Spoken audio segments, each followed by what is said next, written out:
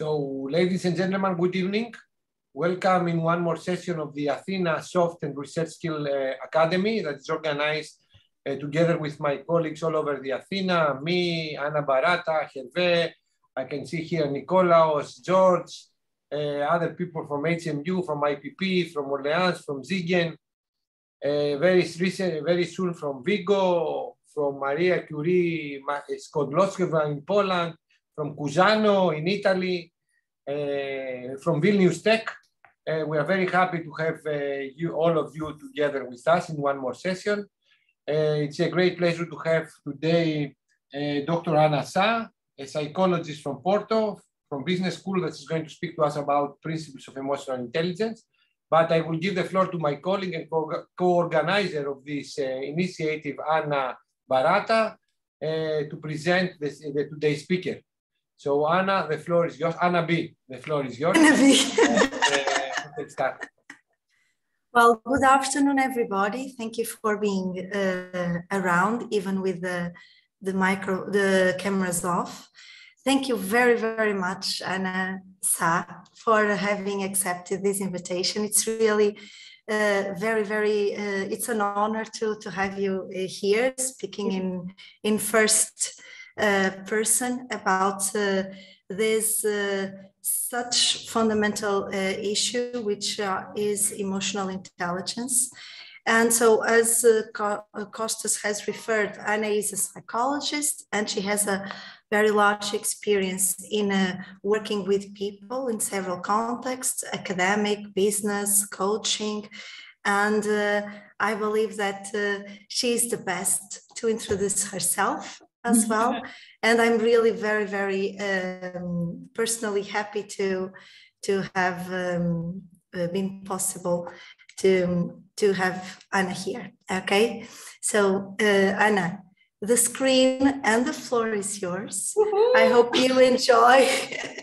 I hope you enjoy uh, the um, also well having this uh, this session because it's uh, part of it and uh, you are passionate about people so i hope that you actually enthusiastic make uh, everyone motivated to keep on with uh, uh with working and life right okay thank okay. you Let, us see, let's see if i can meet the expectations okay because now the bar is very, very oh. high So, guys, guys and girls, hello, hello, good afternoon. Um, first of all, I would like to ask you if you can and turn your cameras on because it's so different to talk to a black square with a name or to people. And I, I always say i love people. I'm passionate about people. I, I love people so much that i was born with a twin brother. So if you can please turn your cameras on in order for us to see you and to connect differently. If you can't well that's it. Um, but if you can, please do that. So, as Anna and Costa were saying, I I work with uh, with people and with uh, with uh, personal development from 20 years from now, more or less. Um, and uh, as I told you, I, I, was born with a twin brother. so I, I start training since day one, since moment one uh, with people, and obviously emotional emotional intelligence. It's very very important. So today I'm going to present you, let me just share my screen. Do we have cameras on already or not? If not, I'll lose the bet for me. No, no one turned the cameras on. Almost. Some people, you know, they are starting to switch on the camera. Oh, nice. Tiago, welcome. Welcome, Tiago. Thank you. Thank you. Thank you. Let me oh, Truls is in a public Wi-Fi, so he can. Hello, Tiago. Thank you so much for turning your camera on. It's it's very different to see you or not. So thank you so much for receiving me. As Anne and Costa were saying, I, I studied psychology. Then in the um, PowerPoint presentation, you will have my contacts, my website, my personal project, uh, and my email if you want to to to stay in, in touch. Uh, as I was saying, I'm passionate passionate about a lot of things, And it's very, very important for us to know our passions and relate them with personal intelligence. And we are going to see why in just a minute. So I love people. It's my, my biggest passion. I love to travel and I love uh, Porto. Porto is my city, is the one that you can see there. And uh, I invite you to come here because Anna can also testify that it's an incredible city. Oh, we have more faces. Nice. Thank you. Thank you. More faces. And I'm passionate about, passionate about studying and also about food. Food to cook or to eat. So these are my passions, and I, I always um, ask myself what connects all these passions. And, and then I understood um, they are connected by the learning factor. I love to, to learn because I love I love to then uh, um, give that back to the people I'm in touch with. So this is why I maintain my sanity, and this is very important for my emotional intelligence. And with this introduction, I'm going to ask what, please write down, what do you think is emotional intelligence? What is emotional intelligence for you?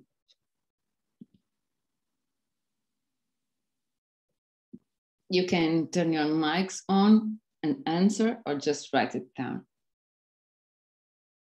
Capacity to read people, control your feelings. You may you may give us uh, two definitions for that: the definition of emotion, yes, the definition of intelligence. Yes. Because uh, here around we speak a lot of languages. Mm-hmm. So in each language, emotion and intelligence may have uh, a different translation. Yes. If you do it in Greek, I could give you my opinion. But this is only Greek, and Greek is a language that very few people understand. Yeah.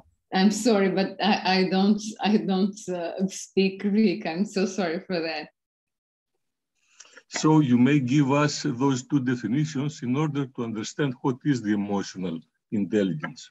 I'm going to give it to give you them both, but I, I prefer not doing it now but okay. you you think for you what is your concept either for emotion and intelligence and if it's a plus if they just sum each other of or if it's one plus one equals three and three is emotional intelligence what's your opinion you're asking me yeah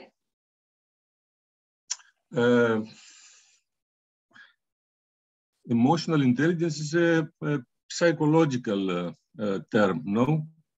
Yes, it is. It is. It has something to do with um, our uh, soul, no? More or less, more with our emotions than with our soul, but yes. So, uh, following uh, my. Um, From your perspective. Yes. Uh, um, the Greek um, point of view, coming from uh, the ancient times, but still alive, mm-hmm. is that uh, emotions uh, are all those forces that move us. Okay. The Latin root is the same. Okay. Emotion means something that moves us. Motion, yeah. Okay. So the emotions um, uh, are characterizing the intelligence. But the intelligence uh, are what uh, join us, what is joining us. It is something that uh, is common to everybody. Somebody is an intellectual uh, substance if uh, it is well recognized by the others, no? Let's see. Uh, so the emotions, the emotions that make us uh, touchable and uh, able to, to come in contact with other people may be called emotional intelligent substances. Okay, I'm going to present you other perspectives, but uh, let's let's see here in, in, the chat some more. Yeah, there. Uh, Anna, Yeah. Uh, first of all, uh, Dimitris Sistakis is a professor in our university to introduce you. And uh, Angeliki, I don't know who is Angeliki, has raised her hand in order to answer. Um, hello. Hello. I'm a student of HMU. Uh, okay. I don't uh, see how I'm listening. I am I'm really anxious right now. Okay. Breathe. Um, breathe, just breathe. Well, yes. okay, I think that um, emotional um, uh, intelligence is a capacity of a person to read one's person personality or feelings by just watching them or listening to them. It has something to do with like um, empathy. Yes. Um, also, I think is a very vital capacity, and it's something that misses from our world lately. Um, I think it's really important for some people, for everyone. yes, thank you. I don't know why were you nervous. You you spoke very very well. Thank you for sharing your perspective. Um, you. Anyone else? We have a lot of different definitions here the capacity to read people, express, emo- express emotions, showing empathy, balance emotions and responsibilities, control ourselves, uh, intelligence influenced by emotions. Okay, we have a lot of answers here. So let's see, you, you are just turning my, my job easier here in this afternoon. I'm going to highlight three points. We only have one hour, more or less. Uh, so we, we won't have a lot of time, but I'm going to talk about emotional intelligence, the concept, um, and I'm going to, to talk, I'm going to share the um, Daniel Goleman perspective. There are the other authors that uh, defend, uh, that have different perspectives, but uh, Daniel Goleman is my, um, it's my, my the best for me it is the best one. It's the, the, the one that we can apply easily to, to, our contexts. Either they are professional or personal so it's the one that i usually teach. And then i'm going to to talk about some skills and some tools that you can use in order to develop your own skills of emotional intelligence. So we don't have a lot of time but um, but uh, we'll we'll have a lot of a, lot to do in this hour. Does anyone knows how uh, intelligence, how this intelligent, emotional intelligence started to be studied? Why? No? So Daniel Goleman, and that's why I, I always like to, to give him credit. Daniel Goleman started some studies at prisons and discovered that um, most of the people that, that were there they were very they were super intelligent. They were they had iqs over 120 usually the normal iq is between 85 8 and 102 and 20 and daniel goleman uh, discovered that the, most of the people they have over 120 and uh, a lot of them uh, very near to 150. That is the top of the top of the score of emotional of intelligence. So you wonder why people that were so intelligent ended in prisons. And he started wondering why didn't people succeed and why didn't people could adapt to their own reality and society and rules so he starts studying that and he was the one we that that uh, present the world with the concept of emotional intelligence. So the first thing to highlight is that if it's not iq and it has something to do with uh, the capacity, the ability to adapt ourselves, to manage the rules, to live in society. It had to, to have a different name. So we call it emotional intelligence. That is the intelligence that is um, connected with our emotions. It's not the last type, okay? So I already asked this. Um, it's not the last type of intelligence. As you can see, uh, there are an author that is called, is here underlined, that is called Arash Mahmoud. Um, he started to study the, our different kinds of intelligence and he discovered or defends that we, we have three different types of intelligence. IQ is the intelligence um, that is related with our uh, rational approach and it's uh, related uh, with uh, it's very predictable it's very reactive it's um, usually inflexible because it has to do with our systems of beliefs. Um, it is very uh, materialized in the things we do uh, about uh, our our beliefs and our behaviors and the ways we put our beliefs in practice then Daniel Goleman started with the emotional quotient. Now he's studying how emotion, how emotions can help us to be more intelligent and to be to have a, an adaptive approach to the context we are in. And we can be obviously in society more adaptive uh, obviously it has to do with empathy and it has to do with uh, proactiveness and flexibility. And obviously it's it's it depends on person to person. But now we are start start to talking about spiritual, spiritual intelligence or quotient that it has to do, uh, it started with uh, uh, physics quantic, uh, quantic physics, and um, it has to do with a different, the, the, some, I, I don't know who, but someone said that emotional intelligence had to do with our soul. No, no. The spiritual intelligence is the one that has to to to do to with our soul. That is the one that is related with our soul and um, the principles of mechanic quantics. But today we are going to focus on emotional intelligence and emotional quotient, okay? But I would like you to know that we already have a different type that is higher than the emotional intelligence. We can consider that um, all the intelligence are very important and very useful, but the lowest level is the, um, the, the, the rational intelligence. Then we have the emotional intelligence and then we have the spiritual intelligence okay so just in order for you to see uh, and so do you think that emotional intelligence is innate was it born to us or we can develop it you can share your your answer. i think that we can develop it developing yeah I agree. I think I think I think it's something we develop. We develop. We develop. That's why you are here to. Yeah.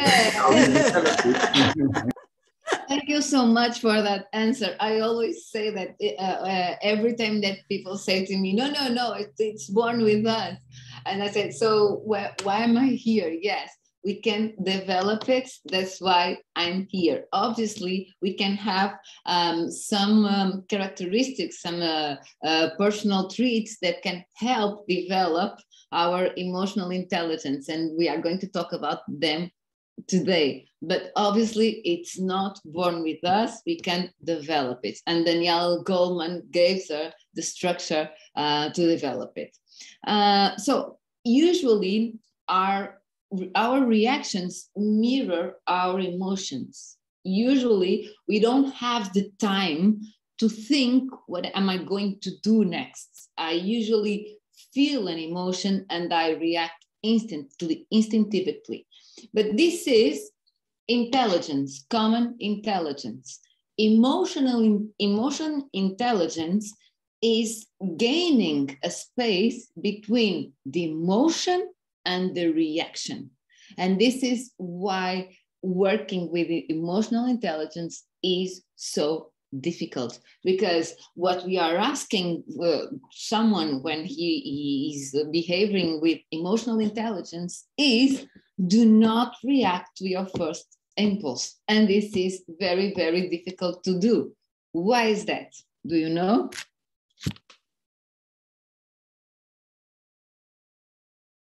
It's just time. I'm always asking, I'm always.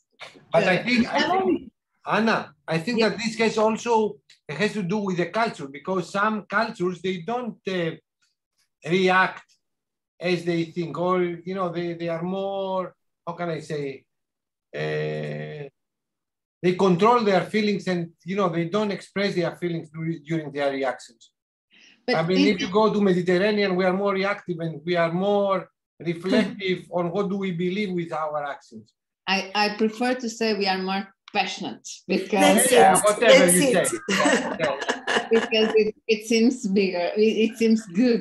Um, the culture is one aspect, and what are the others? Can you can you? Another thing that I can say, uh, following the professional uh, uh, sports, is like the training, like you to keep to keep your mental warm and your heart very cold in order yeah. to control it. So it has to do with the training as well. Okay. Jules is sorry. Jules is uh, saying that because uh, people react by instinct, and I believe I I can't say your name. Aye, Kitty. Yeah, she puts the hand on the air. It was the same. Yeah. Voting. Yeah. Okay. And now she's she's uh, she. You put your hand uh, to speak, didn't you? Yes.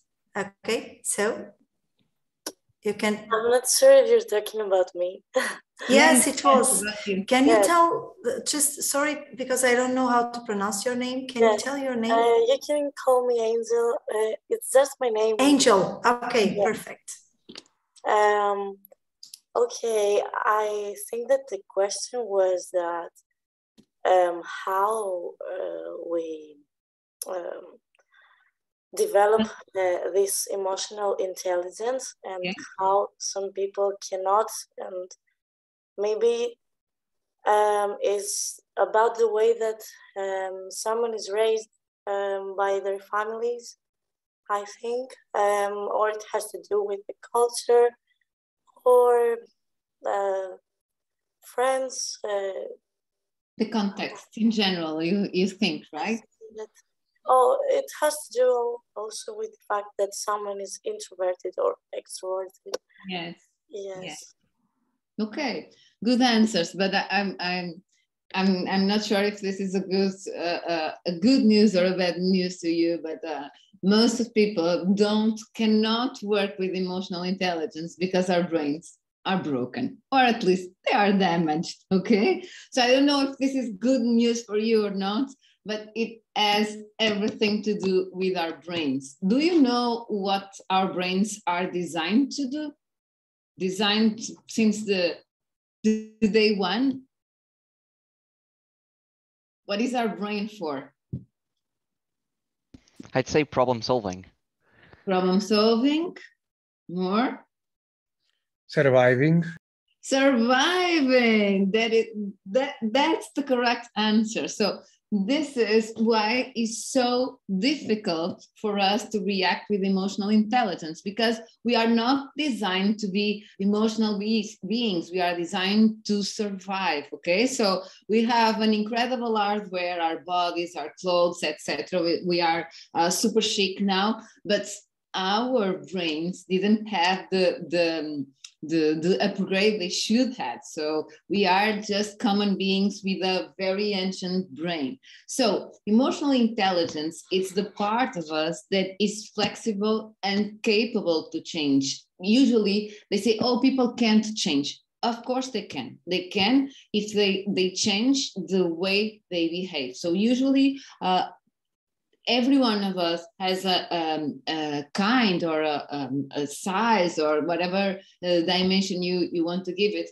of normal rational intelligence is the IQ. And then we have our own personalities, and then we have the emotional intelligence. So the IQ is the part that is it doesn't change. It's stable over our lifetime, can improve with memory and with some capacities, but just improves a little bit.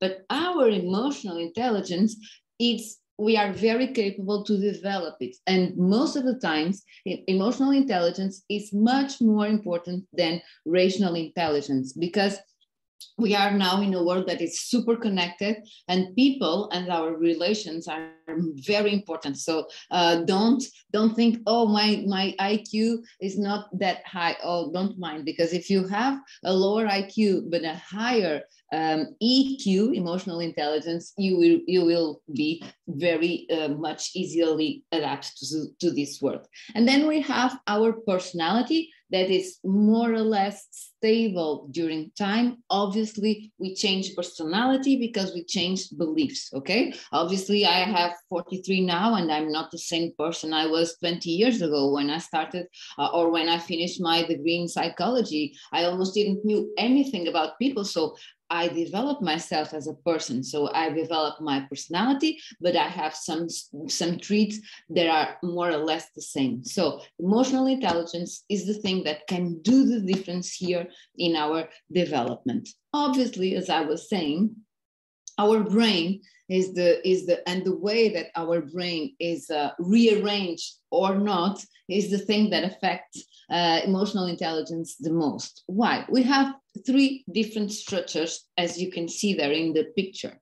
We have the reptilian complex, and that's our mm, uh, first brain. That is that is our first brain is the reptilian complex is it has to do with the uh, instincts and with our uh, fight or flight responses we are designed to survive we are not designed to feel or we are not designed to think. We are designed to survive because if we don't survive, we can neither think or feel. Okay. So every time we have some, um, some external uh, stimulus that comes to us, we tend to react immediately and we react with reptilian complex but we with with the time and with passing time we have two different structures more. We have the limbic system that is responsible with our emotions. It's, it's the yellow part that you see there. And you have the neocortex, and it's, it is the rational uh, uh, brain. It, it is one that is responsible uh, for us to think and to solve problems. So solving problems is something that is in, in uh, human evolution. It's very, very, uh, wait, sorry. Uh, it's it's very very new uh, in the human evolution the solving problem capacity so we are designed to survive that's why we are emotional hijacked so many times we have the the stimulus and then the brain will decide if it's good for us to survive or not then if it, it develops an emotion through that that thing that happens to us, and then we have the response. What we want with emotional intelligence is to gain time between the thing that happens to us and our response. If not, we are usually emotional hijacked. But what is this about being emotional hijacked? If I ask you, how do you feel right now, in this moment, just right now? What do you feel? What would, would the emotion be? You can write down in chat, please.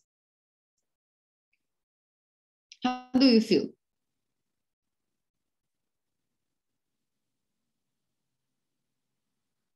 Curious?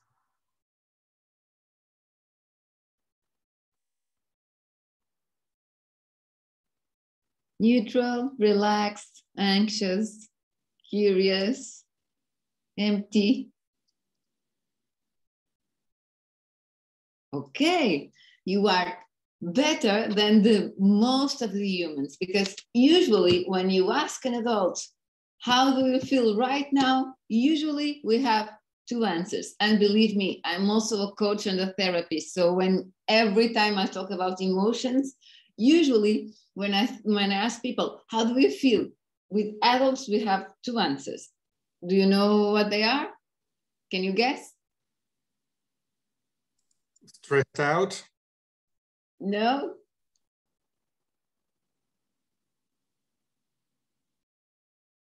Angel, you can answer. Maybe depressed? No, no, some of them, yes, but no. They say that they are fine. They are fine. And the other one? I don't know. Yeah, usually it's like this. When I ask them, they say good or they say bad. And I have to, to, to ask, but good, what, what kind of good? Good, why? In what manners? Or bad, why? why? What manners? Because usually people cannot, cannot recognize emotions. And even the, the people that answer here in the chat, they are neutral, Happy and said, yes, someone, someone, but I can say the name, but someone guessed here in the chat. Usually people say they are good or they are bad. And if I, I, I ask, but good, uh, what kind of good? Is it uh, curious? Is it surprise? Is it passionate? People are like, oh, I didn't even knew we had so much emotions. So how do you want to have emotional intelligence if you cannot recognize your own emotions? Okay, so the first lesson is to recognize our emotions. And if you, you think you, you don't know your emotions well enough, well, I invite you to see uh, um, a film from Pixar called Inside Out. And Inside Out talk us about the five basic emotions. Every time we are feeling one of those five. Do you know what emotions are, the five basic emotions? So happiness, sadness, anger, disgust, and the last one is, I forgot. it's the one that sets himself on fire. It's, it's anger. So those are the five. It's a great movie. It's a great movie for children, but it's an incredible movie to adults. So we have at least we have five different basic emotions. Why are they called basic? Because they are, they are universally expressed and universally recognized. What is saying that if I here in Portugal and you are there in Greece or Italy or China or Australia, wherever you are, we are going to show, for instance, joy in the same way. In the same, we contract our faces, our, our primary muscles in the same way. We have, we have the same kind of expression through these five emotions. So they are universally expressed and universal recognized. And this is very important because of the paradigm of the fight, flight, or freeze. Because we are designed to survive, we only interact with the ones we consider that they are equal to us. If we, we perceive someone as, um, I don't know, stronger than we are, we tend to flight. It's like, bye bye. If it's, uh, if we, if it's uh, not as strong as we are, we tend to fight because we are the strongest one. If we don't know, we freeze, we don't interact. So we need to understand emotions in order to understand what are we feeling, in order to understand if we are going to say to our brains, please interact. Otherwise, reptilian brain will fight, flight, or freeze. Am I making myself clear? So it is for the ones, okay, for, thank you. For the ones to say, oh no, I love to feel things. No, that's not true. We only love to feel good things. It's like surprises. Every time I ask, who likes surprises? People are, me, me. No, no, no. We like good surprises. Imagine you go to your car and it's all broken. No, that's a kind of surprise you won't like to have. Okay. So it's very, it's very, uh, we need to pay attention to ourselves and to our emotions in order to develop our emotional intelligence. And we have a lot of emotions, a lot of different emotions. Um, I talked you about the five basic ones. Um, there are um, joy, fear, anger, disgust, and uh, was it fear? Did I say the? Sadness. Sadness. Sadness. The one that was missing. Sadness. I always forget sadness. Mm-hmm. I'm too joyful to to recall the sadness. So. But it's important to feel it's sad as well. Very important. It? it's very important to feel them all. So that's a good exercise because usually people don't like to feel some emotions. Why is sadness important? Every this, these all five emotions, they have a function. They have an adaptive function to human beings. All the five. So What do you think is the importance of uh, feeling sadness?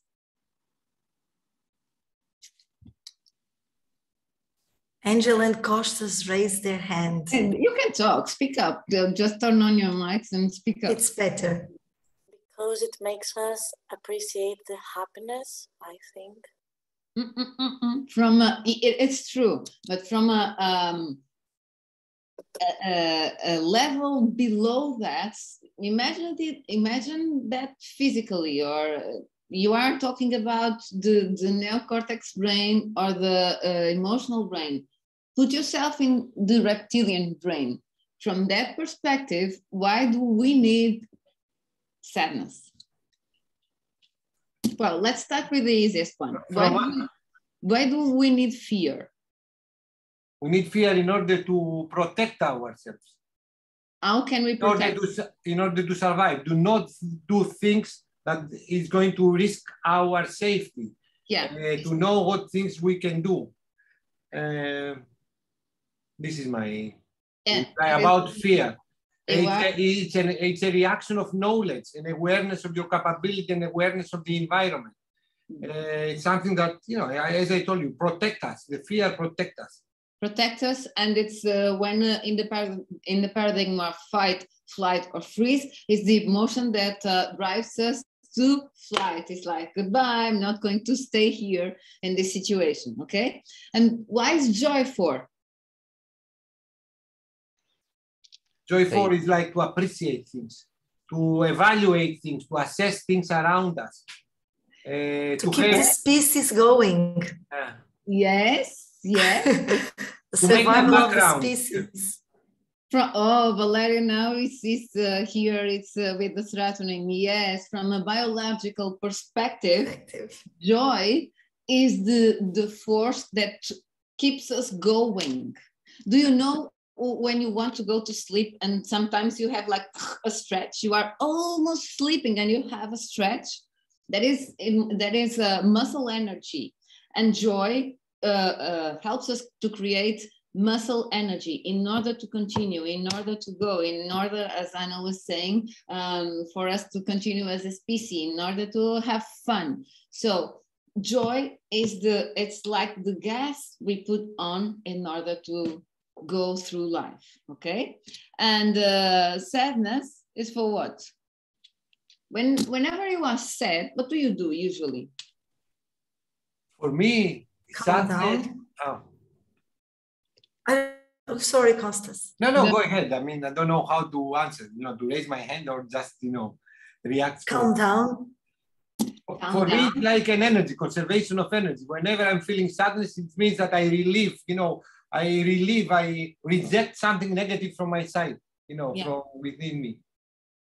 Usually our behaviors, the common behavior is just to slow down, is just to cry, is to understand uh, what I don't want, what I want. So the sadness is the emotion that gives you the space to stop and think and stuff. Because when you are very joyful, you just don't sit there and say, oh, let me just think in this for a while. You have to have the straight emotion. That's why melancholics, the melancholic states are usually very creative states. We shouldn't never ever uh, uh, run away from uh, melancholy or from uh, sadness because they are very useful in order to give us time and space to think to feel okay it's the, the, the emotion that makes us stop and then we have um, anger what is what is anger for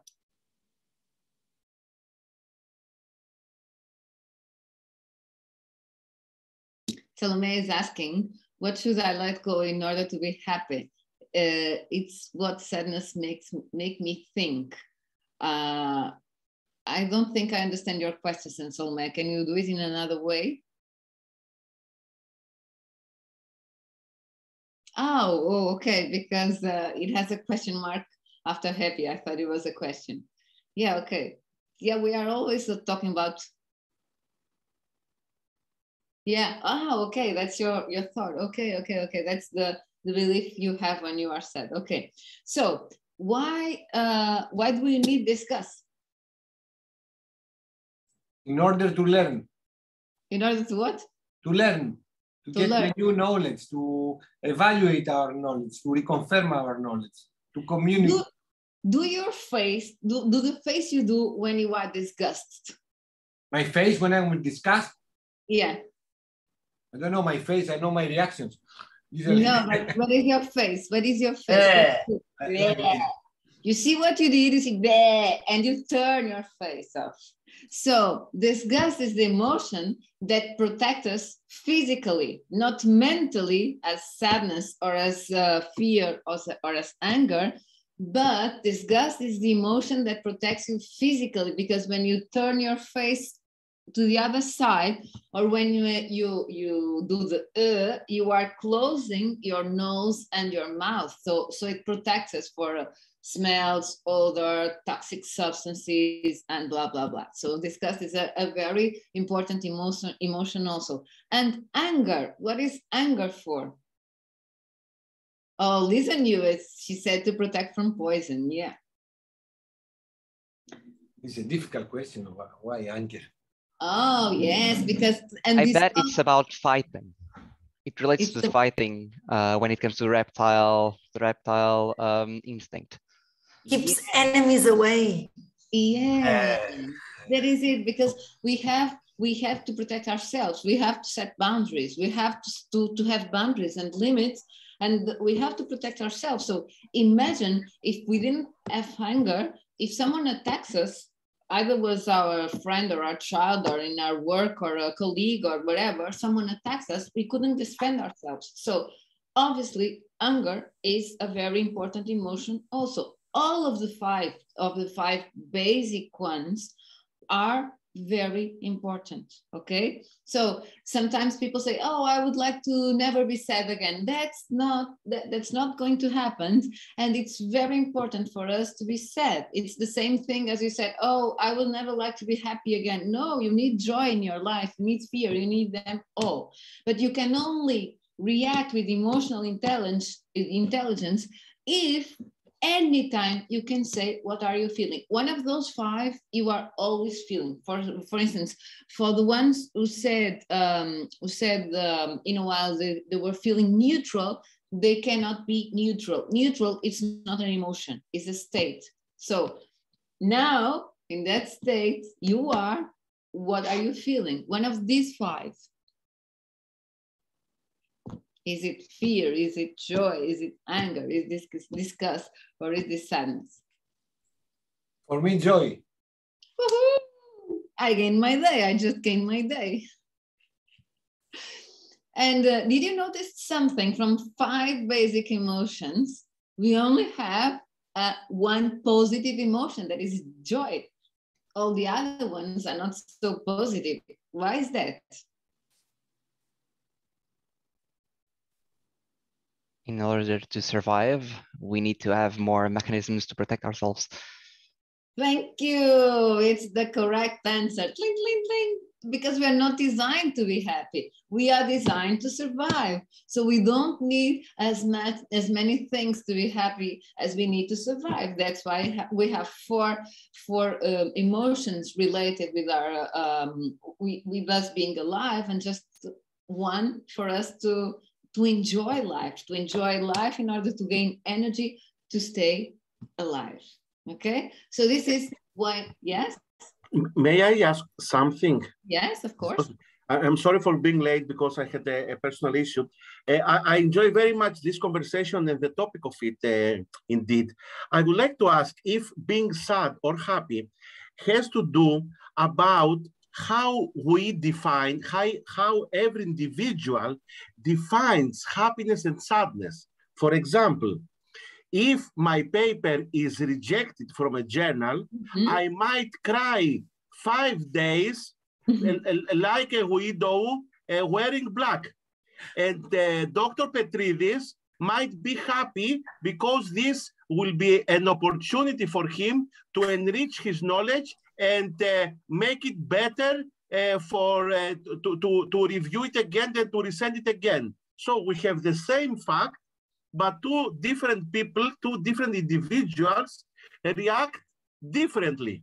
for somebody might be sadness what 100% or 1%, or for somebody might be sadness, and for somebody else might be a chance to improve himself. This is my, my question and yeah. my personal uh, uh, uh, point of view in life. Thank okay. you very much. Okay, George, thank you for your participation. Um, obviously, you have uh, you are right. It depends on the way we we define the emotions because we have obviously each one of us here we have a different system of beliefs, and our beliefs determine our behavior. So the the external external cause is the same. It's the paper that you deliver but if I have a, a system of, of, beliefs that uh, saying to me that I cannot fail, that is, uh, I will be ashamed, that blah, blah, blah, obviously I can be sad. But if my system of beliefs is uh, uh, more positive, uh, I can um, face that as an opportunity to learn, etc., etc. So usually our emotions, our system of beliefs will develop an emotion through that external cause that will give, will give us the behavior we will uh, use in that specific situations. So obviously the same event can have two completely different behaviors because we have different beliefs.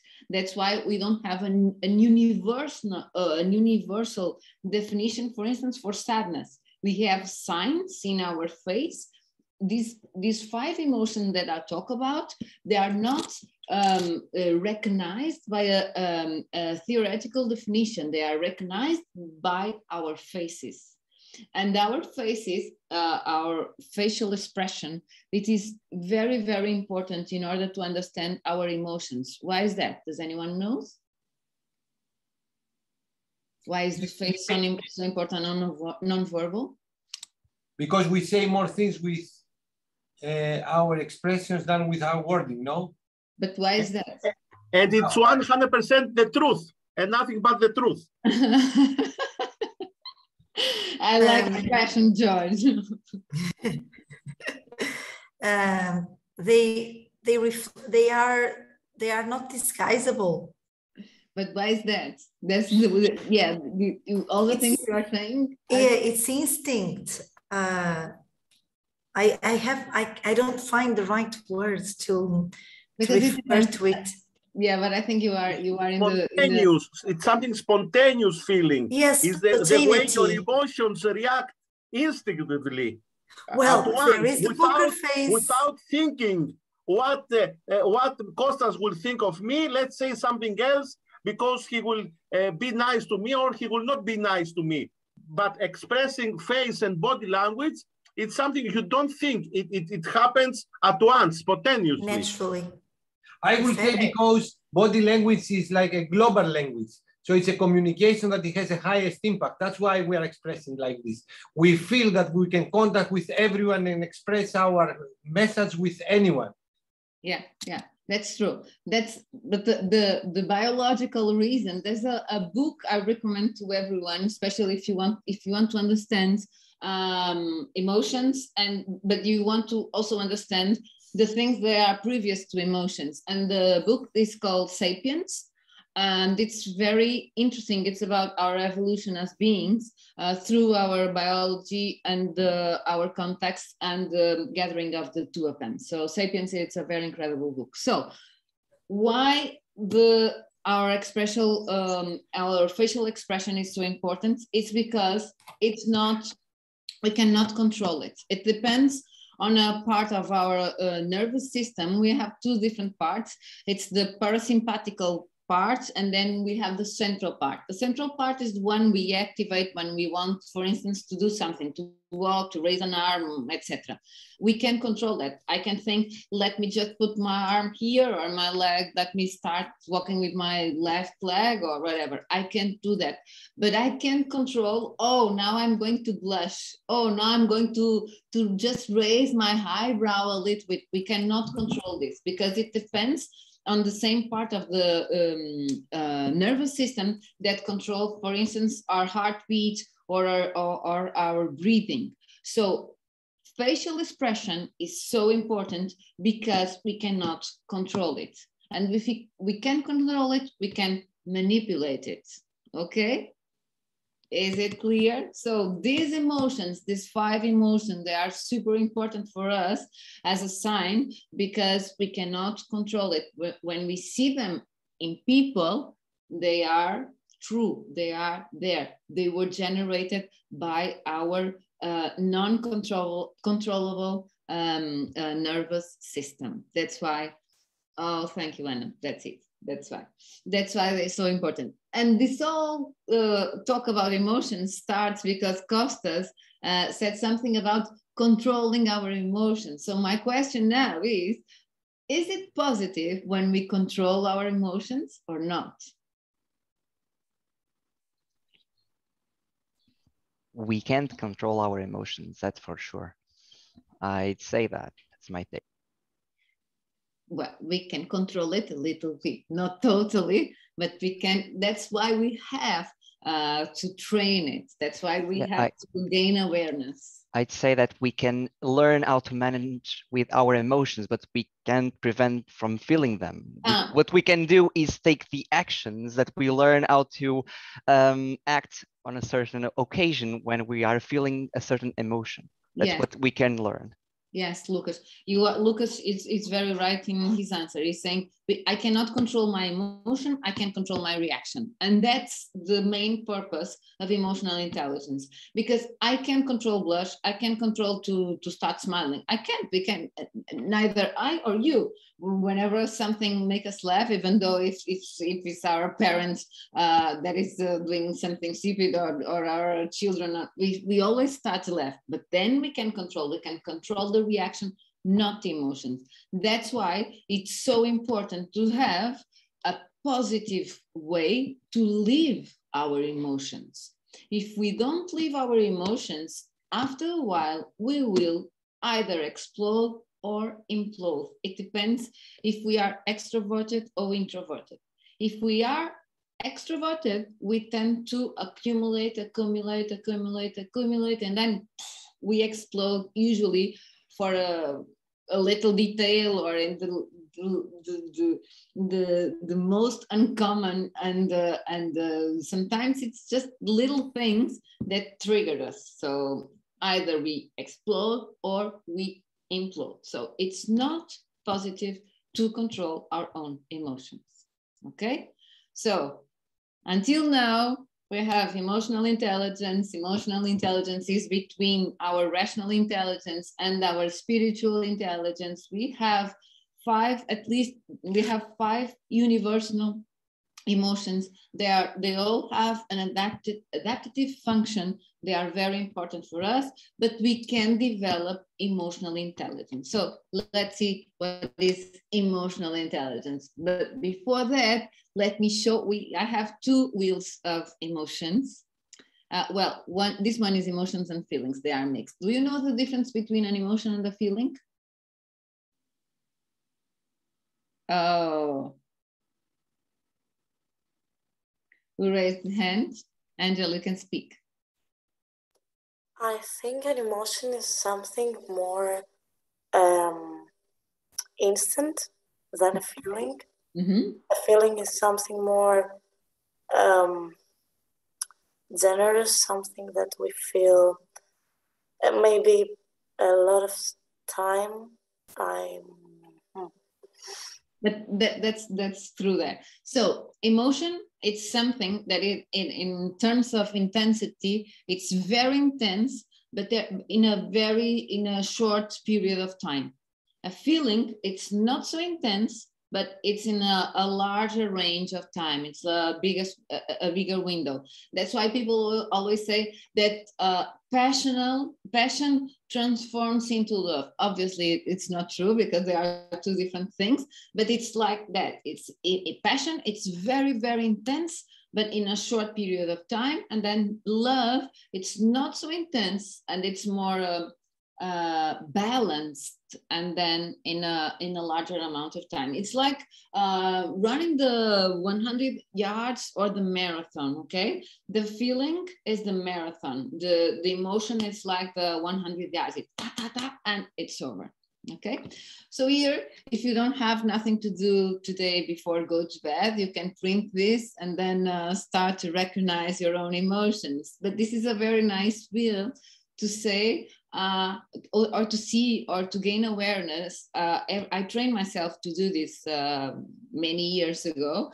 I print this, and every uh, in in uh, the end of the day, I always do a gratitude exercise. So in the end of the day, I was like, what is my main feeling to describe this day? And then we go through the center to the the the circle. So you have to choose one emotion. For instance, I choose happy. Okay, but what kind of happiness? Was I playful? Was I content? Was I interested? Was I accepted, powerful, blah, blah, blah. And then you go and, until the, the last level. So this is a very good way, and it's the first tool to gain emotional intelligence the, because the first thing we need is to gain awareness of our feelings. So the first thing, if you want to develop your emotional intelligence, the first thing you can do is pick up either this wheel or this one. You have the, the Plutchik's wheel. It's it's a little bit different. I prefer this one because I think it's more um, it's simple to to get and it's simple it's it's uh, simple to use. So I prefer, prefer this one, but you also have another example. And if you can, please make a pause each day or twice a day to feel to see to gain awareness of what are you feeling in that moment. For you to leave the state that as an adult either you are good or you are bad okay? So at least at least five emotions one of the five the big five you can you can um, gain awareness of or you can pick up the wheel and see all of the emotions. So as you know probably we have our yes Yes, does anyone wants to talk? No.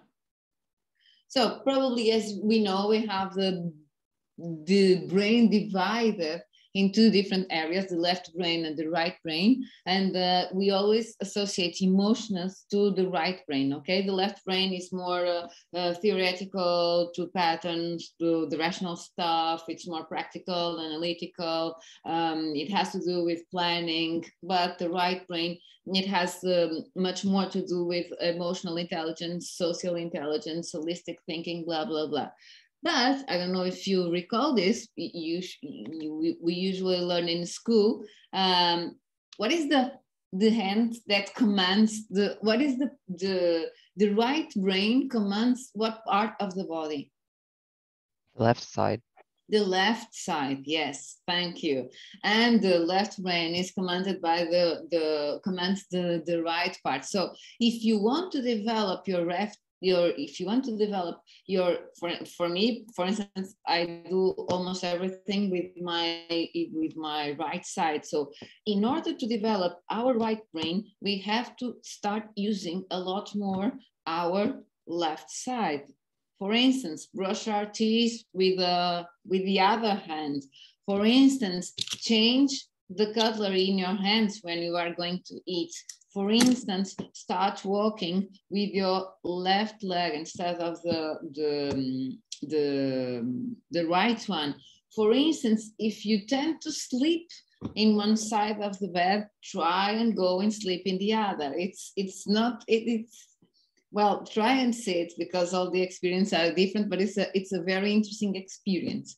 So we, if we want to develop this, this this this side of emotional we have this emotional side we need to start doing a lot more stuff with the the left side okay uh, so what is emotional intelligence? Here you have, I will present you the, the Daniel Goleman definition.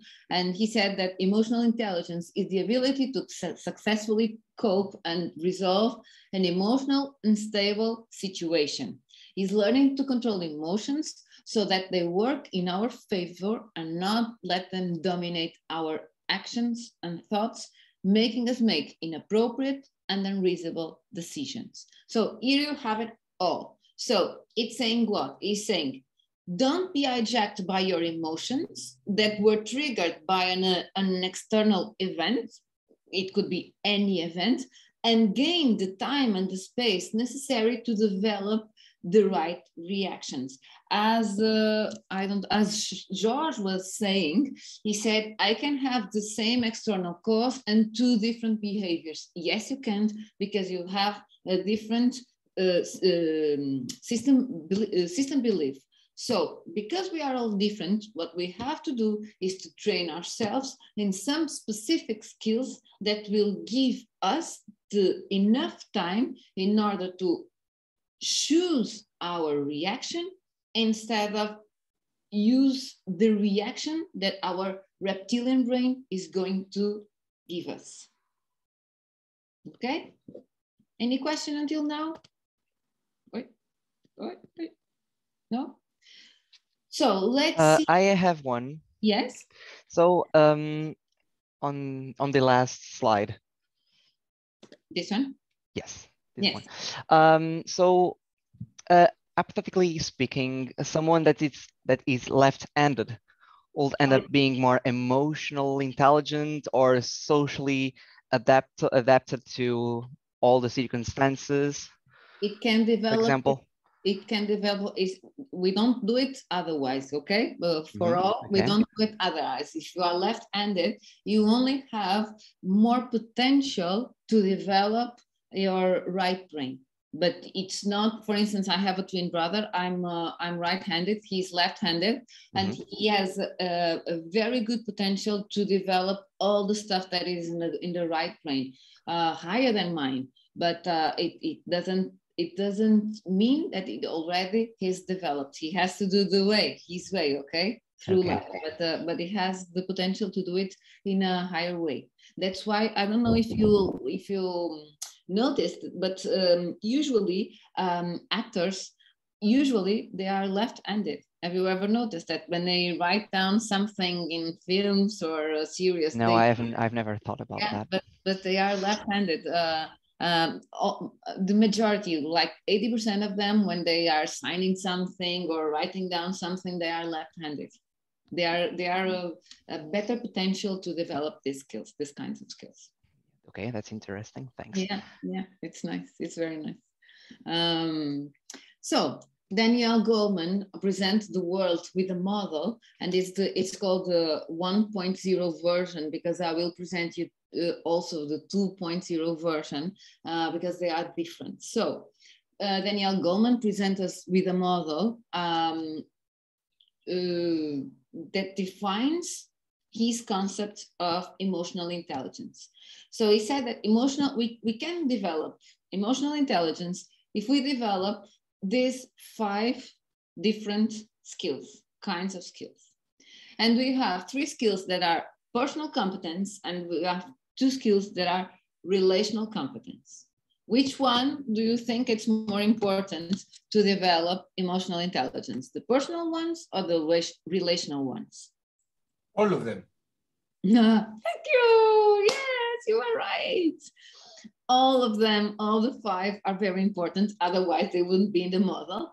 But we have to develop personal competences previously, before everything. Why is that? Because no. if you don't have, ah, I'm sorry, someone else. Sorry, I'm going. No, no, it's okay, Kostas. It's okay. Please. Oh, Konstantinos, please. The floor is yours. Okay, thank you. So I was thinking that in order to collaborate effectively with others, you need to first be able to collaborate with yourself. So you first uh, fulfill the personal competence and then you advance to the relational uh, competence. I totally agree with Konstantinos. This is what I would like to say. If you don't have a self-awareness to recognize feelings or weaknesses or uh, advantages of yourself, how are you going to demonstrate empathy for the others? Yeah. And, and that's that. And that's that you are the, the only personal whom you live 24 hours per day seven days per week. So it's the main relation you have it's with yourself. And it's your highest sphere of influence. So you cannot influence other people if you cannot influence yourself So you have, and uh, usually when I'm with my clients, um, know yourself, Socrates. Yeah, thank you, George. That's it. Uh, so usually with when I'm with my clients, and the majority of the adults that I see, they have self-esteem completely destroyed. It's it's insane. Uh, people people enter the 40s and i don't know what happened. Well i know what happens but they destroy their self-esteem in the way. And usually i always say then do you treat other people as you treat yourself? Do you speak to yourself as you would speak with other people with a friend with uh, some relative? And people say no obviously obviously not. But they should we should treat ourselves at least as good as we treat others. So our first relation is with ourselves.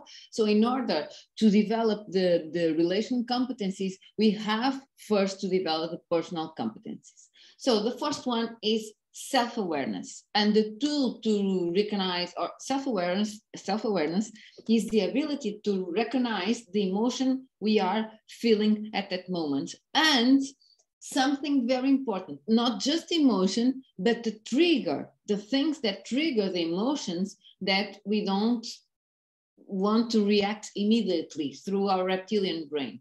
For instance, I have a trigger for, for, for bad emotions uh, related usually with anger.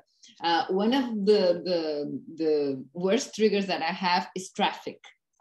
I hate traffic if I don't prepare them, myself, if I don't breathe a lot of times, if I go on a traffic queue for two hours, I just get insane. I'm, I am, I don't, I cannot even explain to you. So traffic is a trigger for me. So I usually prefer to sleep less 30 minutes, 30 minutes less, less, and just go uh, in order not to have traffic. For instance, being uh, sleepy, it's a trigger for me. For instance, being with hungry, it's a trigger for me. Uh, and the worst one for me, this seems stupid, but it's not, it's cold. Whenever I'm not comfortable with a context temperature or my body temperature, I'm very, very, I'm sorry for the my, my bad language. I'm a pain in the ass. It's impossible to be with me or around me because I am super picky. And why is that? Because I'm not comfortable. So self-awareness is not just uh, what I, am I feeling. That is very, a very part, a very important part of the process. But then you have the other one, and the other one is what triggers you. And for instance, in um, social uh, triggers for me, lies, lies as are the worst trigger for me. Uh, so you, you, you have to understand what triggers you. And if you can, write down all the points that you can recall, okay? For first tool to develop self-awareness, each day, analyze what was the emotion more present in the day and you have the wheel of emotions and then if possible, recall if something triggers you and why, what was it, in what time, why, with whom. We have people that trigger us. Many times the same external behavior from someone, from some person triggers uh, trigger us and from other don't. So pay attention on that. Second, second pillar of the Daniel Goleman model is self-regulation. And self-regulation is our ability to control disruptive impulsives and to think before acting and express ourselves appropriately. So self-regulation is gaining time. Is saying, okay, I have a reptilian brain that wants to react, but I also have a limbic system and I also have a neocortex. So let me gain here. We only need three, three seconds. If we gain three or four seconds between the calls and the behavior, we are we can act with emotional intelligence. We have a, we have a lot of practices that that we can do to self regulate ourselves. For instance all the the practice uh, related with meditation mindfulness, um, exercise. Exercise is very important because exercise gives us the power and the, re- the, the resilience to, whenever we, are in a, in a bad state, to put ourselves in a higher state, in a, a better state. So we have all of this to, we all have all those tools to self-regulation. And then we have internal motivation. We have to understand what is um, what are the reasons that drives us? What what does what what what motivate us? And usually we have six different factors that motivate us. People always think money but money it's not from oh we are late. But money is not the most important factor. Uh, we have six basic human needs that can motivate us certainty, variety, significance, connection, personal growth, and contribution. Motivation is an internal concept. If I don't motivate myself, I cannot expect that others could motivate me. So one of these six, it's our higher trigger. For me, for instance, is diversity. I love to do different things. I love, I hate routines. I love to, to, to be with different people in different projects and to accept uh, challenges like this one. So we always have a trigger.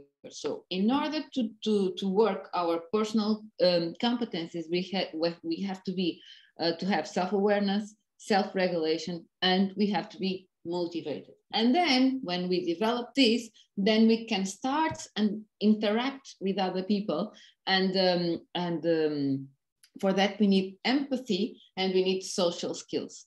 Empathy is the ability to understand other people's emotions and reactions. We usually say we put on their shoes. It's not just like that. We have to understand things for the, for their perspective but also respect them. Because usually we, we make the effort to understand but then we say oh but don't bother. That is easy to to solve. Oh oh i don't know. Don't bother. I don't know. Why are you so sad about that? That's not so important. So we try to be empathetic people but then we don't we don't uh, um, give people the credit to feel the stuff they are feeling. So empathy is understand what the others are feeling from their perspective, but also respect that because usually or sometimes we don't respect others' feelings. We try to be empathetic, but uh, in the end, we don't respect others' feelings. And then uh, some social skills, uh, some social skills like rapport, communication, feedback, those are the skills that um, orientate us and help us to communicate with others. So this is the model of Daniel Goleman. If you want, you can you can have like two or three or different, you can think in two or, or different things to develop um, each pillar of the model. And if you develop each pillar, you will develop your emotional intelligence as all, as a concept. Okay? Any questions about this? I have one question. Yes. In engineering, you know, sometimes like, uh, one modern approach is the reverse engineering. So, I mean, I can understand the, the linear progression starting from the personal competence to the relation, relational competence. But mm -hmm. if we mm-hmm. think the reverse engineering, I mean, we cannot develop the relational relational competence before the personal competence. For example, this probably will help us probably slower to realize our feelings by observing the others. So by interacting, by being a member of the groups, probably we are shy or we cannot express, but by pushing by the team, probably we're going to change and starting, you know, the reverse process. Is this possible or is it impossible? No, no, it is possible from my, my perspective. It's not the way it should be done because it's yeah, like, a, it's like a tree without roots. Okay, okay. very correct. Right. You you do you understand the metaphor? You can be a yeah yeah, yeah I can understand. You know, it was very the slow roots, or will you, you because um, when you do that, there's a high the higher risk it's, it's that you you start behaving yourself um, with uh, to meet the expectations of others and not from your essence. But you know, sometimes now I disagree a little bit. I will give you an example. For example, no, I'm wrong. Obviously, probably I'm wrong. But no. I will give you an example. Be a member of a basketball team, for example, or be a member of a team. Uh, at the beginning, if you are moving from you know from a team to another team to a bigger team, probably in the short team, you think that oh, I'm the best player or I'm the best player on the area. But um, when you move to a bigger team, then by comparing yourself with the others, this feeling stops. So by having social skills, be a member of the team, interacting with that's the others. Not social, that's not social skills, that's right. social interaction. Ah, okay. So, so when you change, you are in a different context. You didn't gain the skills okay. yet. You are just in a different context. Okay. So yeah. obviously you are right. But when you go to a to a bigger team, what do you have to do? You have to be there, be quiet, observe. And if God gives us two ears, two two eyes, and okay. just a mouth, it's to listen and and uh, observe twice twice and we speak. So if you go to a bigger team, what you, you, you have to do is start with your self-awareness and say, let me evaluate the context, let me observe the other people, and then you'll gain self-awareness about yourself, and then you will develop the other pillars. Self-awareness is, is always the, the first one. Thank you, very correct. Thank You're welcome. You're welcome. You were, you are not correct. Okay. We can do, as you said, we can start by the relational competencies. But usually from my experience and my perspective and the client, clients I know, etc., usually what tends to happen is that people behave uh, not according to their essence, but according to others' expectations. It's a fragile yeah. development that yeah. way. Can, can, I, can, I, uh, can I ask something? Can I a little bit, you know, continue this? And yes. what about we are learning by our mistakes? So Obviously. by communi- so by being social and expressing our opinion, we receive a feedback that help us to build our self-awareness because at the beginning we, we think that we are correct expressing ourselves we are doing mistakes and then these mistakes can be expressed only if you interact with the others. I cannot see. No, no, no, no. no, no I no. do. I do a lot of mistakes interacting with myself. For instance, when you you understand or you re, you realize that you have behavior behavioral patterns, because we all have behavioral patterns, and usually we tend to see them in the same context. For instance, we have patterns in our romantic relationship, we have patterns in our jobs, etc., etc. So usually I tend to say I'm a I'm a, a, very positive person, and usually I'm I'm like, oh no, I already I already passed this pattern, and now I'm I'm putting myself again in the line, and I realize that I didn't. So I we can make mistakes and receive feedback by others' behavior, and uh, we are uh, we have to work uh, self awareness again self-awareness is always the base for everything. Obviously, it's not one, two, three, four, five. No, it's not like this. They we have personal com competencies and then relational competencies. We have to start, or we should start with personal competencies. From my perspective, self and Goleman's perspective, self-awareness is the the the first one. But then you can obviously you mix all all all of them in different contexts and with different people. Let me show. Yeah. Yes, Anna, say. And I, I, was just going to to ask. This is like a, if it was an iterative process. So it's always because there are always. Uh, it's not okay. I've developed my self awareness now at this moment, so it's done. No. Period. Stop. No, we keep on different until the last day of your life. Exactly. Okay. Exactly. Exactly. That's it. Job job will never be done. Job will no. never be done until the last breath. In the last breath probably you can relax and say oh okay. This this emotional uh, intelligence now i'm going to rest uh, about it.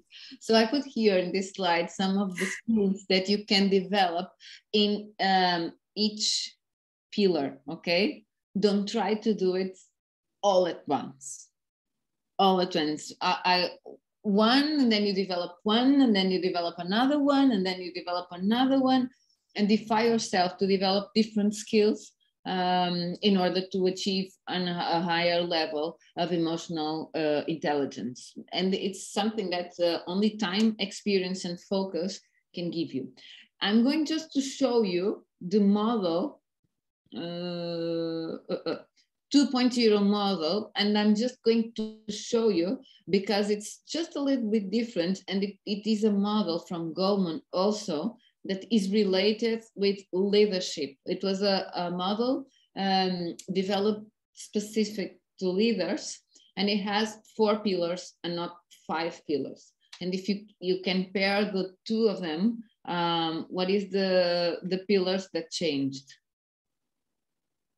Can you recall it?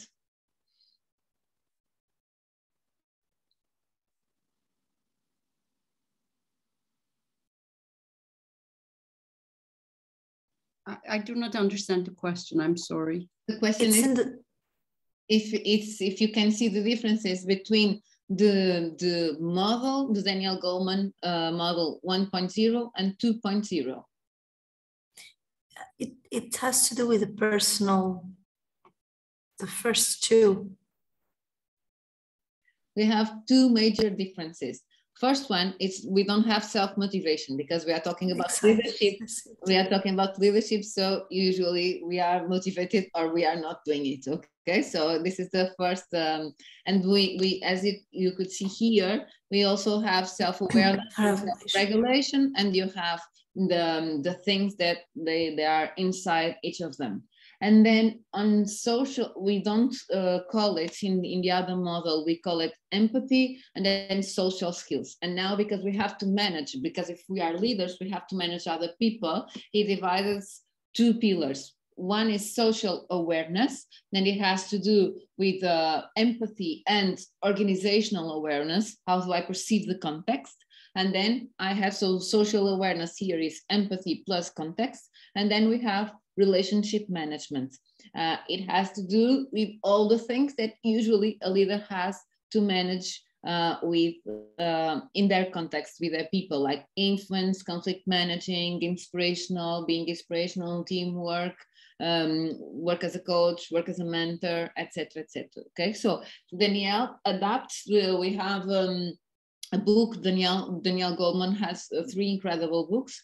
One is emotional intelligence, the other one is working with emotional and social intelligence. And the other one is called focus. All of the three are very, very good. It's, it's not the easiest person to read, but all the three books are very interesting. But this is just for you to, just, just to, to, for you to know, not to explore, because I don't know how many from the people here are leaders. So this was just to to self-knowledge. And then you'll have in the presentation some of advantages and disadvantages of working with emotional intelligence. So let's focus in the advantages. The advantages are obviously reducing stress in communication and making better decisions because we are we are choosing our behaviors we are not being reactive and obviously if we do that we can improve our career prospects I usually say either in professional life or in personal life because personal life, we also have a career in personal life. Um, now it's like like um, there are just few marriages that uh, uh, marriages that last more than seven years, ten years. So we also have a career there. Um, help us a lot managing change and to have positive interaction with other people. And obviously, uh, uh, through communication can be very, very helpful and um, help us set a stronger connection with ourselves and with others. Usually, when we have um, higher emotional intelligence, we also develop a better connection with ourselves, not just with the others, but also with ourselves because of, of self awareness, our self regulation. So, this is good um, for everyone. Some of the disadvantages, it's until, as Anna was saying, it's until the last days of our life, so it takes time. Um, usually we can be misunderstood. For instance, if we take the time to pause and choose our reaction, people can think um, we are not intelligent we are not proactive. We, we, we tend to, to think slow. Obviously, they are mistake, they are mistaken, but it's what it is. Okay, usually in every every every way we do something we'll have some um, criticism. It depends on the context, obviously, because because of the the person, and it's not predictable. Emotional intelligence, because our system our system of beliefs and the things we feel through the external causes, we don't have an universal way to in, interpret emotional intelligence because emotional intelligence is different. We have, it's different from people to people. We have uh, a model that helps us to interpret, interpret and live the concept but it's not universal. It's not global okay? It's not uh, as a language because uh, we use words and we know that we can communicate something with those words. With emotional intelligence no. It depends on the people involved and in the context we are we are in okay? Any question? I think we i, I have a um, three or four more slides with the final tips, but I will let them in the in the presentation and you can see them. I just want to wanted to yeah, but don't worry, Anna. You can keep on a little bit. I, I can. Uh, okay, yeah, so yeah. Give you. I'm going to yeah. give you practical tips just Tips. go, just a, just Yeah. a, um, just a, as way as a, a wrap up. Uh, so We are still within the time. Don't don't worry. Right. Okay, okay. I thought, Okay, I thought we had we have Mhm. uh, an hour and a half, so I think. we Yeah, will- that wa- one hour and a half until five. We are fine. Okay, okay, okay. So first tip for me, this is this is uh, through my experience, and I'm I'm studying behavior behavior uh, human behavior for a lot of years now. Not with my twin brother, but with uh, with other humans. So some practical tips uh, about emotional intelligence. First one is know yourself. If you know yourself, you will know others. You will understand others and uh, pay attention. It's not something that you do with your mind. Now, write it down. Mm, Get a diary. Um, get a, a small book in order to do your gratitude exercises. Know yourself. That's the first step for everything. What went good? How do, for instance, how do I evaluate today in a scale from zero to 10 or one to 10? What was the best thing? What was the worst thing? uh, what could I have done differently, and what am I grateful for. Five days, five days per, per uh, five minutes per day, they will make a lot of difference in you as a person and in your emotional intelligence. Second, define your values and beliefs. Guys, this is like our GPS. You can never guess how many people I ask them, uh, for instance, what are your values in life? And uh, like people with over 50 or 60 years, and they are like, mm, I never thought of that. If you never thought about your core values in life, it's like Alice in the Wonderland. Any destination is a good destination because you are you, you don't know where are you going to. So if you don't have your values your values well defined, anything is possible. Uh, and usually it will take you to a pathway that you, you don't want to go. I have my, my core values very, very clear. For instance, for, for me, in my case, I can share mine. Mine's are passion. I have to have that sparkle in the eyes to do something. If I don't have it, I won't do it. So passion is my core value. Then I have love as universal love. Love people, love um, animals, love what I do, love, love, love. And then I have um, justice. And then I have transparency. And then I have uh, equity. Uh, and then I have re- reciprocity. Uh, so this is my core values. The, usually they don't change through time. I, I added two, um, but usually when they are really our core values from our soul, they don't change. So define them, make your list, make your own list of core values. That listen to yourself. What is that little voice saying to you, the voice inside your head? Is it the angel or the demon that is talking?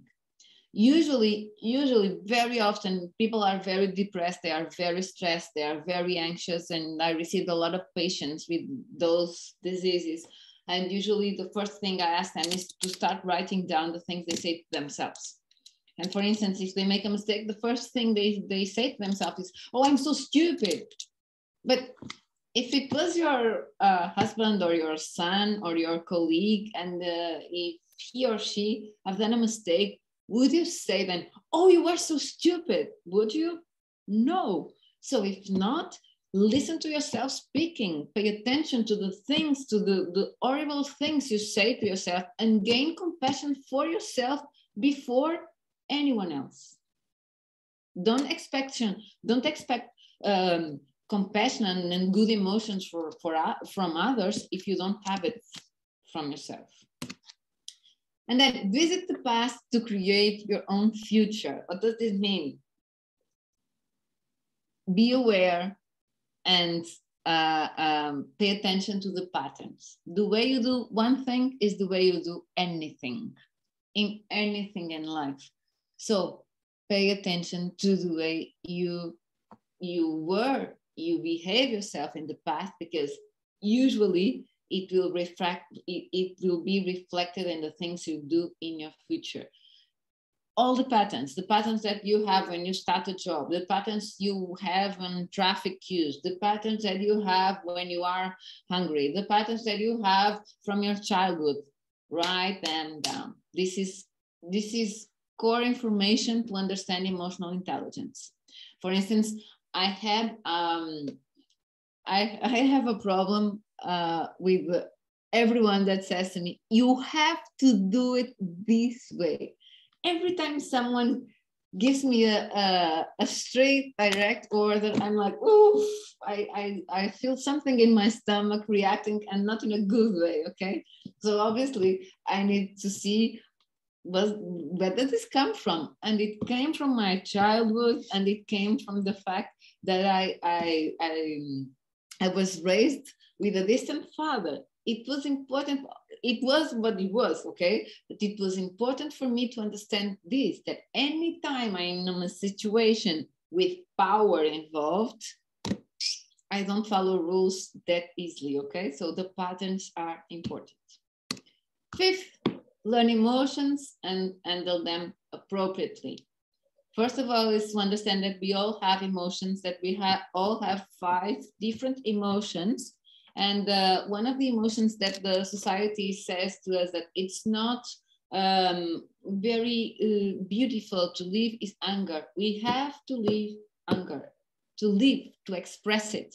But we have to have the the um, adapt the adapted context to do it. So if you are anger, go to the gym, go into a punch bag and or fight or uh, go to CrossFit and push tires, do whatever it takes but express it. Because if you don't express it it will go deeper and deeper and deeper in you and then you will get to the state called depression. Because if you see the word depression it's only deeper depression for what? For emotions obviously okay so pay a lot of attention to your emotions very important go through the god's proportion if you have two ears, two eyes, and a mouth, shut up and listen. It's the it's, it's if you if you cannot develop emotional intelligence, if you can do anything of the things um, our previous talk about, do this one. Do this one, and you see that you raise the, your interactions with others oof, a lot. Last one, step up your communication game we are flexible people. We, we usually communicate in order to, to, to gain reason, not to be happy. So start living your life from the point of view that if you have to choose either have reason or being happy, start being happy because, uh, or start choosing happiness through all the logical in the world because we are not logical we are not logical beings. We are uh, designed to survive and that we are emotional beings and in the end we are logical beings. So start communicate from emotions from what i feel and not from what i think. Does this make sense? Yep last but not least emotional intelligence allow us to respond instead of react. We are not reptiles anymore. We have that piece of brain, the reptilian brain that is very important that command us in, it's the first one that it's triggered, command us in almost every situation, but we also have limbic system that helps us with emotional intelligence and we have neocortex that help us with solving problems. So we, we are not animals, let's behave like humans. And this is it. I don't know if. Thank you so much. You're welcome. This nice uh, presentation and discussion. Uh, I, I um, let's give the floor if there are any questions. However, yeah. a lot of questions they have been discussed by the way that you present mm -hmm. the stuff. But let's see if there are any questions uh, in the audience.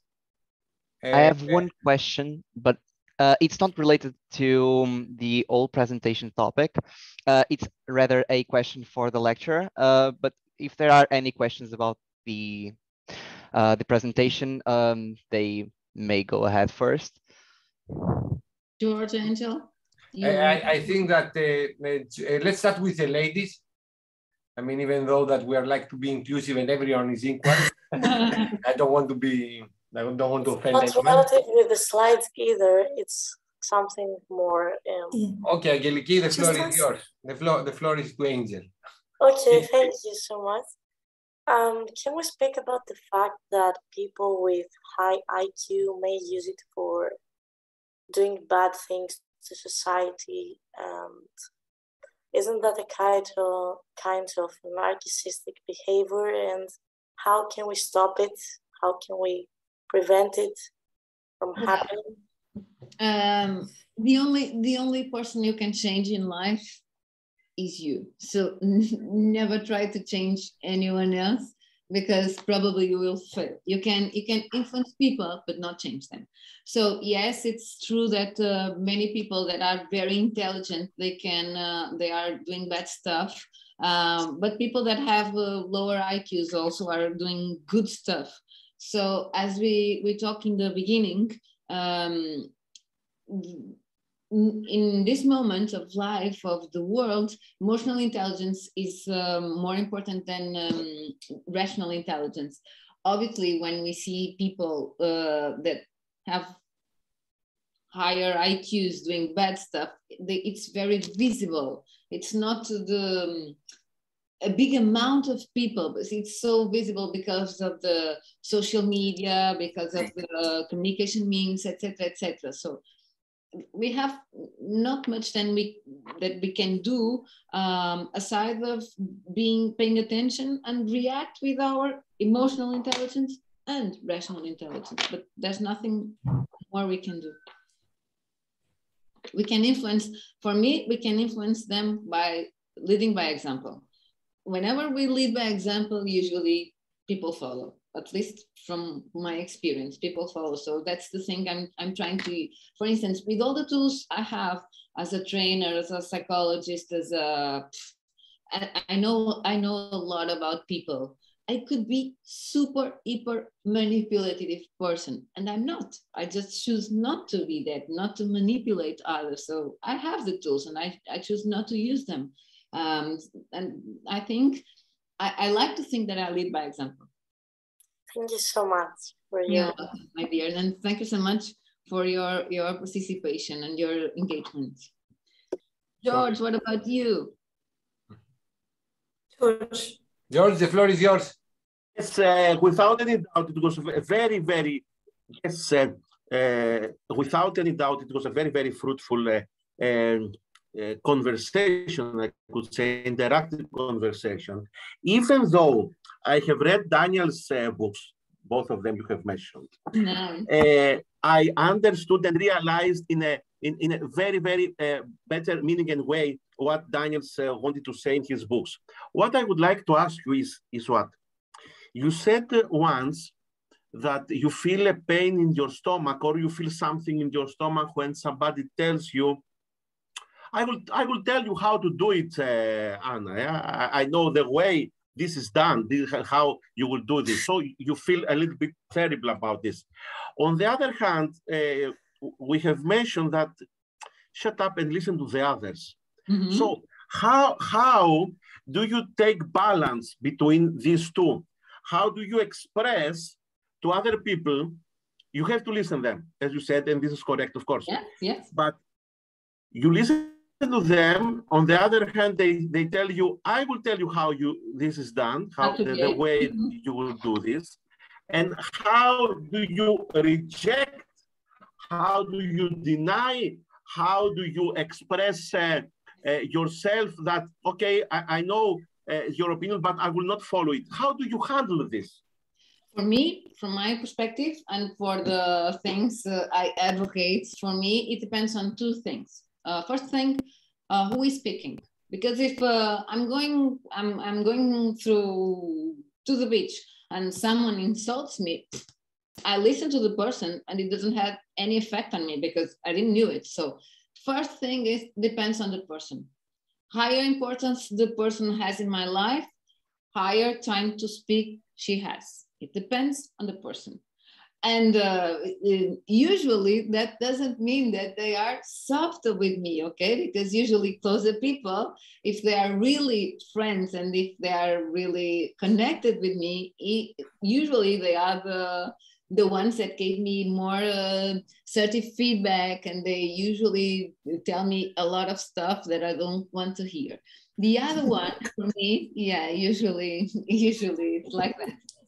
The other thing for me is if I perceive they are adding value to me in my life or in the context in the context in general. For instance, imagine I'm in, in a training session if someone is speaking and speaking and speaking and it's not adding any value, neither for me or their colleagues, I have to, to stop them. I have to listen, but I have to set um, um, limits to set um, to, to, to in order to gain the balance. So for me, it has to do with those things. It has to do with the importance that I, I get to people in my life and the value that their communication is adding because the world is very used to talk a lot, to talk too much. Um, uh, and I think uh, words are very, very over, um, how, how, do we say it? And uh, sobrevalorizadas. Overvalued. Overrated. Overrated, overvalued. Yeah, yeah, I wasn't recalling the expression. I think yeah. words are overrated. And I'm a trainer. Imagine that. Imagine if I if I if I weren't a trainer. I think people speak too much. I'm, I'm usually I do uh, every year um, a retreat, uh, silent retreat, eight days. And you cannot imagine how difficult it is to re-enter society because people just talk and talk and I'm like, oh please, oh please. And they are they are just it's talk by talk. They are they aren't adding any value. So for me, George, those two factors. Lucas. Uh, you, thank you. You're welcome. Um, so it it is a question for the lecturer now uh, on some on the perspective you have about the topic I will discuss now. So currently, we face a lot that from teenagers and young adults, they usually hate society. They don't like people. I face that quite a lot. I am sure that you also do uh, have the same experiences. And I wonder what made you and still making you love people in the current days and i will i will love you to explain why do you love for so me, much people yeah for me it's um for me the the the solution to teenagers is disconnecting wi-fi okay? If you disconnect wi-fi and disconnect all the gadgets for instance i was here in on vacation in easter time uh, and we we had a um, um, Ukrainian family. We received an Ukrainian family, and um, the girl and mother they were like 12 hours per day in their mobiles, in their laptops, and we have the girl was is 12, and uh, I have two cousins with 12 also. And one day, as a I don't know, as a as as a play, a part of a play, I said, well, today we won't have Wi-Fi. And you cannot imagine the girl, I finally see her face. She smiled. She she go to the mountain. She climbed rocks. She was she was even blushed and she was super happy. So for me, the the the main thing is people are disconnected. And they are disconnected from each other because they are too connected to their own life to their own gadget to, to social media and etc for so for me that is the problem. Why do i love people? I, i'm going to, to to give you my answer. And usually when i when i when i share it people say oh you are all pink and unicorns. I'm not. I'm orange as you can see and cats not unicorns but usually people say that it's because I love people because I, I see people changing with me uh, when I'm when I'm under under my watch uh, through a training program or through a coaching sessions. I can see change happen, and I, I always believe in people. I, I, I always can see what they they, they they don't see anymore the the shine they have, the ability they have, the potential they have. So I genuinely believe in people.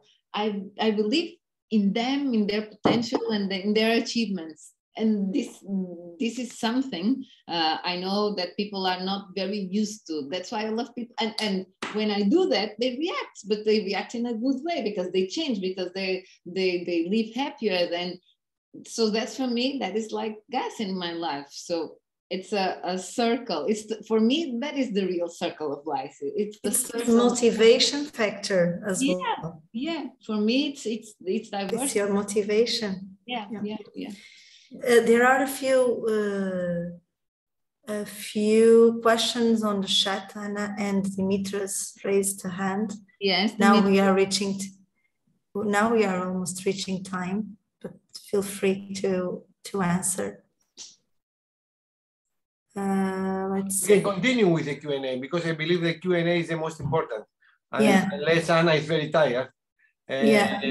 Let's start uh, with Dimitris and then read, you know, the questions on the chat before they will disappear. Yeah, there are two that probably be interesting to close the session with. Dimitris, please. Thank, thank you, thank you. Um, thank you, Kostas. I have two questions. The first one is uh, uh, if uh, this um, social, excuse me, this emotional intelligence has some social dimension or social impact. Does it have something to do with uh, the socialization of uh, the human uh, the human beings? Yes. Mm -hmm. Yeah. Uh, oh, um, I think you are going to do the same questions uh, at once. Yes, it has. Um, uh, it has to do with uh, with the evolution, our uh, evolution as a, as a species, um, because we start to compare ourselves. We we start to live together, and then we start to observe the others, and then we start to compare ourselves, and then we develop through that. If you read Sapien, Sapiens, the book uh, that uh, Anna Barata shared, it's it's you have, you have everything explained there. But until Daniel's, Daniel Goleman studies that they were in the late 80s, uh, no one no one ever uh, gave it a name or um, um, transformed it in a concept. So Daniel Goleman um, made that job. So it has it. That's why it has two pillars Has a, so, a social dimension. Dimension. One of is empathy and empathy it has to, to do with the relation that we develop with others. And the other one is social skills and social skills are the ones to observe the other to compare ourselves with the other to interact with the other to communication with the other. So emotional intelligence definitely has um, um, a relation with um, socialization. Okay before i will proceed the second question i should make a comment on that uh, uh, can I? Obviously, yes. Uh, society is an entity that uh, extends not only in the today uh, planet, but also in history. Okay? So uh, if we want to take seriously the um, dynamics of the human beings, we may have to uh, account all the history of the human beings and see what are the uh, common values and common practices and common um, uh, way of, uh, of, common attitudes between the different civilizations on this planet. Uh, I am not an ethnologist and I know nothing about especially the Asians and the Africans and the Incas, but I know uh, some things about the Greek history, mm -hmm. the European uh, people history, uh, because I, I, grew up among all those people, so we are now all together here, and I'm very happy to, to be uh, with you. But, but there are a lot of many deep gaps between the, uh, especially the Greek way of thinking and the nowadays um, uh, the, nowadays present. Uh, I will. Uh, uh the time is uh, very expensive, so uh, I do not spend your time to, to, to speak a lot. I will mention only one word: the word empathy. Uh, it is uh, very wrong the um, way that uh, Mr. I don't remember the name of the guy who used it, but empathy in Greek means something very different than what this uh, guy uh, used to say in the frame of uh, his own science. okay, patient and empathy and sympathy and all those Greek words have to be uh, used correctly. If not, we break down the uh, social uh, uh coherence mm -hmm. and it, is, it becomes very difficult to understand what the people in the past were saying and we lose our future. Uh, I'm coming this, to, I'm coming, what?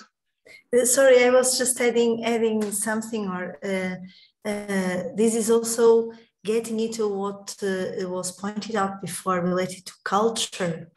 And so it's another uh, culture, history, history. Yeah. yeah. and they, they it's uh, they, I'm just adding and so to the to the uh, and um, it's uh, really very interesting to see over these lectures how all these uh, subjects are interconnected and how mm-hmm. important it is to think n- not about in the past but of their importance in daily life and uh, so it's not by chance that uh, last week we we heard about active listening and now Anne at the end emphasizes the, uh, also the importance of the, having two ears and two eyes to listen, observe, and only one mouth to speak.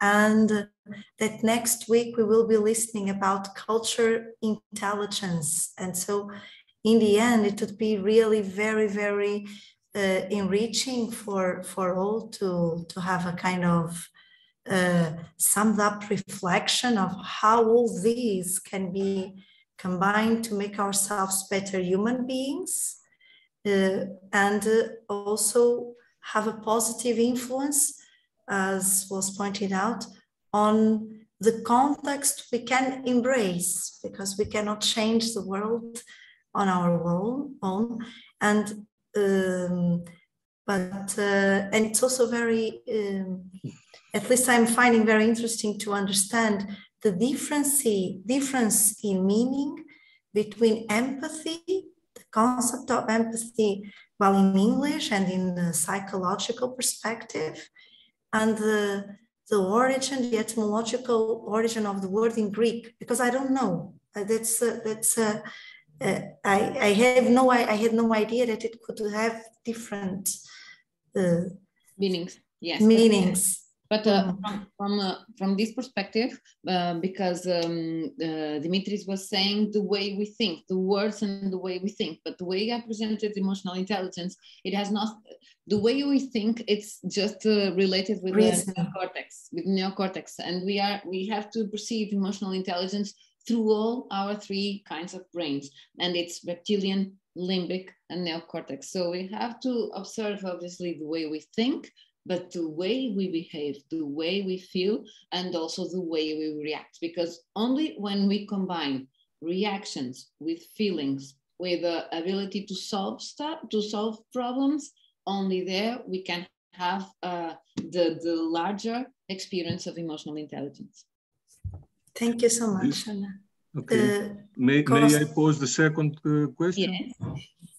Uh, you have uh, already answered it Uh, uh, the answer uh, was within your last words, but I will pose the question and uh, make a comment on that. My question was, what is the relation of emotion with logic and the mind? Yeah. It's, it's uh, the thing. So yeah. you, you gave the question and you gave the question. It's very, very, very important that your, your answer was given uh, on a biological, uh, neurophysiological uh, basis, uh, analyzing the structure of, uh, of, the, of the human brain. Uh, let me make a comment on that. we used to, to think that everything is located in the neural system and the brain, etc. But, but uh, if one will think simply, uh, it's not necessary to be a, a, a neuro uh, neurologist or um, uh, related uh, to all this uh, stuff scientist. if you make any thought, the thought, the, the thought um, awakes a lot of feelings there are thoughts that may uh, make your heart uh, faster, mm -hmm. or you may rise your pressure, or may uh, uh minimize your pressure, or make you uh, uh, develop a lot of emotions. So, what I want to say with this simple appointment uh, the, uh, the, the neural, uh, the, the um, skeleton muscular systems, etc., are a unity. Uh, you said that uh, the brain has three three uh, areas, and in every area something occurs. this is the outcome of some electro um, something experiments uh, with which one found that something occurs there. But all those waves that make uh, electromagnetic uh, um, uh, activities in, within the human body uh, are not only on the place that they are detected. The, our organs, our um, uh, artificial eyes that we read all those um, um, biochemical uh, reactions and the phenomena in the human body do not see the whole spectrum of the body. Yeah. And of course, they do not take into account the structure, the microstructure of the memory uh, that is uh, um, deposited within the neurons uh, and uh, the human body in general. Uh, nobody can read your memory to see if now you are thinking about what you will uh, do this evening or about the future of the war in Ukraine. Yeah, our so, mind is still our own. yeah, and this is this is because uh, and I think that we will preserve this ability to, to, to stay to stay free. So what I want to, to, to, to say is that uh, we have to analyze the, our behavior uh, in order to include the uh, experimental data we have from various sciences and uh, all of them based on one uh, common uh, base. The word coherence, logical, logical coherence is, I think, the, the key word that explains why we're here uh, people from different uh, um, areas. Backgrounds. In this, yes, yes. Uh, in this uh, group, uh, somebody can find people from engineering, uh, human sciences, etc. It is very beautiful. It is very beautiful. We can start talking among us. That's why I want to, to say a very, very big thank you. and um, I think that uh, this must be continued. Thank you. Thank you very much. Thank you for your questions and your feedback. It's very important. Thank you. Okay. Ah, uh, let's read, you know, very fast, you know, the questions on the chat. Very fast. Oh, I have five minutes more. Yeah, yes. yeah, yeah I can no, let's not, okay, if I if you let me read, you know, I will be faster. Uh, if uh, a question from Valeria, is EQ and IQ positively or even inverse correlated? Very fast no, no. You can you cannot uh, define a correlation. Uh, either it's linear, exponential, or inverse. It has no correlation. You can have uh, huge IQ and uh, and uh, EQ, you can have one big and you don't have any correlation. It depends on person to person. You can assess the different types of intelligence in each person.